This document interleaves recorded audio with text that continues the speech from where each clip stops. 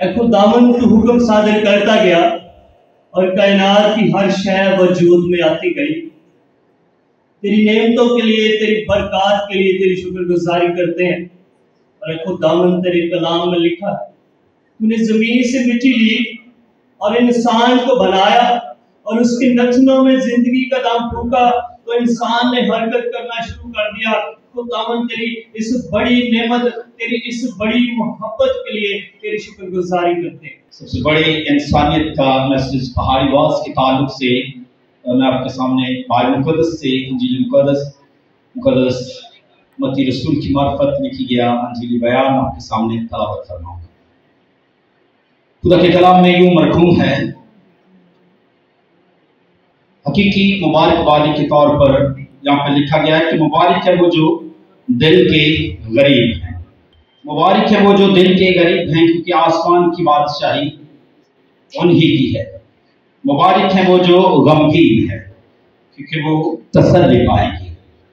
مبارک ہیں وہ جو راست بازی کے بھوکے اور پیاسے ہیں، کیونکہ وہ آسودہ کیے جائیں گے۔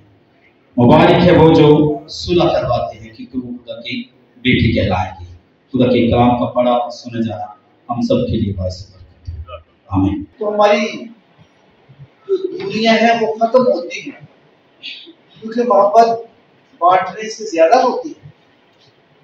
خوشیاں بانٹنے سے زیادہ ہوتی ہیں۔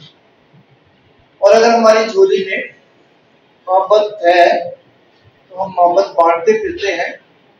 تو ہم اپنے نبیوں کا، اپنے رسولوں کا، اپنے خدا کا ہم وہ پیغام دیتے ہیں جو محبت کا پیغام ہے۔ محبت کا پیغام دراصل انسانیت کے لیے ابلین پیغام ہے۔ یہ ہمارے لیے تو ہمیں یسوع مسیح نے کہا، یہ میں تمہیں ایک حکم دیتا ہوں۔ یہ ہمارے لیے ایک حکم ہے محبت کا۔ ہم پر فرض کیا گیا ہے کہ ہم محبت کریں۔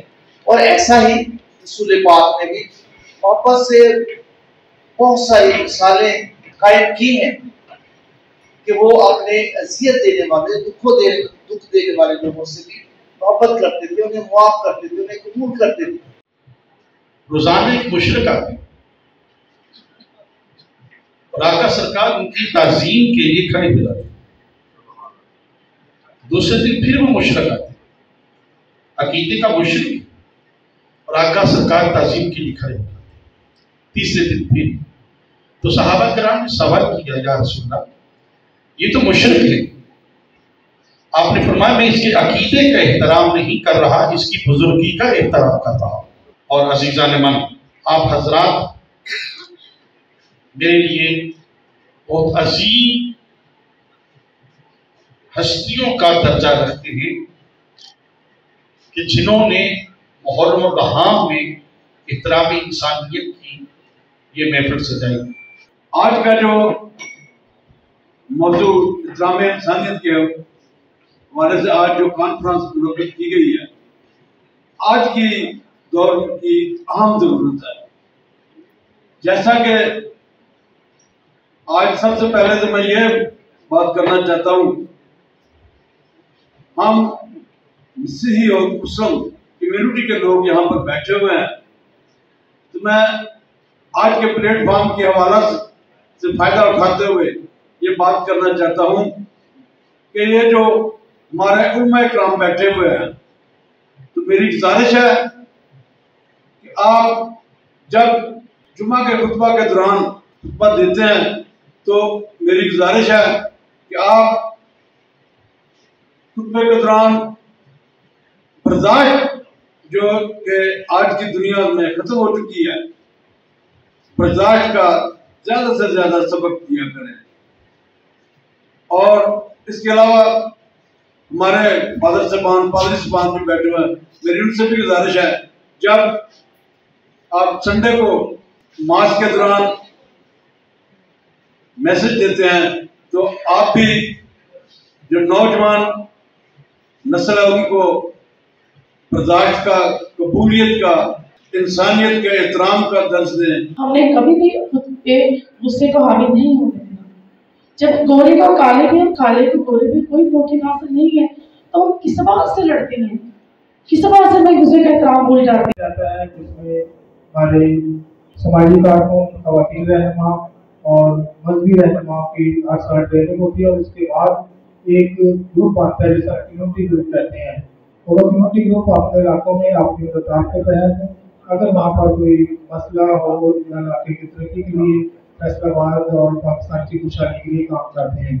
اس کے ساتھ ساتھ پیس اینڈ ڈیولپمنٹ فاؤنڈیشن بین المذہب مانگی خاص طور پر سماجی مانگی کے لیے ایسے ہے کہ جو بھی تہوار آتے ہیں، چاہے کرسمس ہو ایسٹر ہو، عید الغبی ہو، عید الفطر ہو، عاشورہ محرم ہو، یا تو ہم سب مل کر یہ دن سیلیبریٹ کرتے ہیں۔ اور پورے سال ہم تقریبات منعقد کرتے ہیں۔ اور آج کی تقریب کا بھی بہت اچھا ثبوت ہے کہ ہم سب محرم الحرام میں بھی احترام انسانیت کانفرنس کے عنوان سے سب اکٹھے ہوئے ہیں۔ اور آج ہم تمام علماء کرام والد صاحبان والد صاحبان کو سنیں گے کہ ہمارا جو مقصد ہے کہ سب انسان برابر ہیں، چاہے وہ مسیح ہو، مسلم ہو، ہندو ہو، سکھ ہو۔ گورا ہو، کالا ہو، ہر ایک انسان کی برابر کی حیثیت ہے اور سب انسان جو ہے وہ خدا کو ماننے والے ہیں۔ ہم سب بھائی ہیں، ہمارا دین اس بات کی تلقین کرتا ہے کہ کسی بھی ناخوشگوار ماحول کو پیدا کرنے سے گریز ہوں اور آپس میں بھائی چارے کی کوشش کو جاری و ساری رکھا ہوا ہے۔ اور میں بھی آج ان کی ٹیم کا حصہ بنا ہوں اور کوشش ہے کہ ہم اپنے مسیح بھائیوں سے، مسلمان بھائی آپس میں بھائیوں کی طرح رہیں۔ کسی بھی انتشار والی بات کو درگزر کریں اور آپس میں مل جل کے بیٹھ کے اچھے ماحول کو پیدا کرنے کی انسانیت کی تقریب اور انسانیت کے ساتھ جو درس مصطفیٰ ہے اور درس حسین ہے، اس کو اجاگر کیا جائے گا۔ اللہ کے نبی صلی اللہ علیہ وآلہ وسلم شاہد میں خیر الناس من ينفع الناس، تم میں سے بہترین وہ شخص ہے کہ جس سے دوسروں کو فائدہ پہنچے۔ احترام انسانیت یقیناً اگر ہم جب قرآن مقدس کو پڑھتے ہیں تو قرآن بھی ہمیں انسانیت کا یہ عہد، انسانیت کے احترام کا درس دیتا ہے۔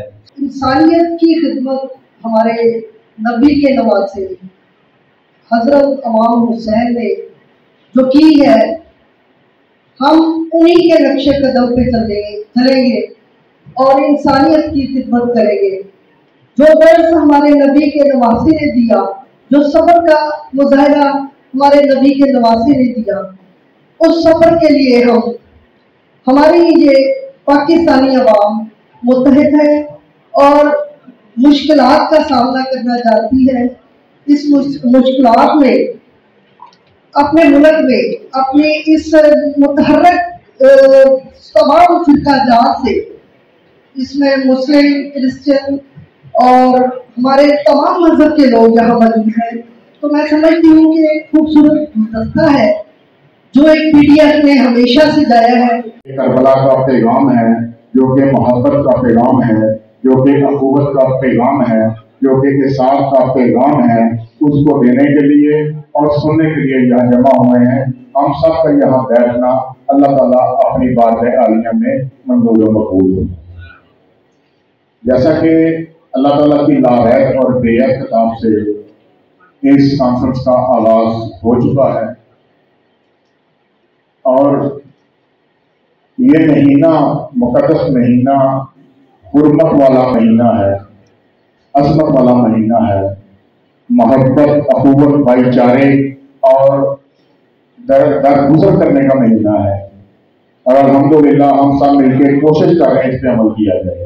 اور انشاءاللہ ہر جس طرح محرم کا احترام ہے، ہم چاہتے ہیں اسی طرح ہر مہینے کا، ہر دن کا احترام ہو، آپس میں مسلم مسیحی اور بین المسالت اور بین المذاہب ڈائلاگ کے لیے ہم پیغام دیں انسانیت کا، کیونکہ کسی شاعر نے کیا خوب کہا ہے، انسان کو بیدار تو ہو لینے دو، ہر قوم پکارے گی، ہمارے یہاں انسان